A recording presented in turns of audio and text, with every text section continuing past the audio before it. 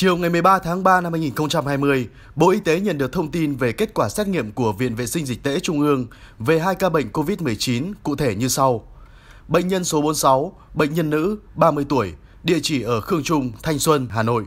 Bệnh nhân là tiếp viên hàng không trên chuyến bay từ London về Hà Nội ngày 9 tháng 3 năm 2020. Ngày 10 tháng 3, bệnh nhân có sốt nóng và ho đờm, không tức ngực. Ngày 11 tháng 3, bệnh nhân đi khám tại Trung tâm Y tế Hàng không, sau đó được chuyển vào Bệnh viện Bệnh nhiệt đới Trung ương cơ sở Đông Anh.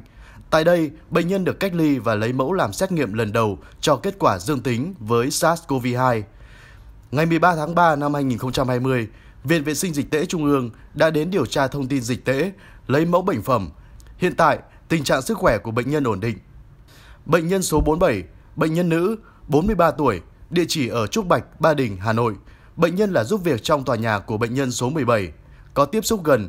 Ngày 3 tháng 3 năm 2020, sau khi phát hiện số 17, Trung tâm Kiểm soát Bệnh tật Hà Nội đã giả soát và lập danh sách tiếp xúc gần.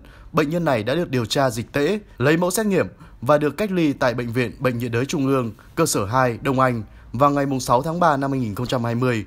Hiện tại sức khỏe của bệnh nhân ổn định.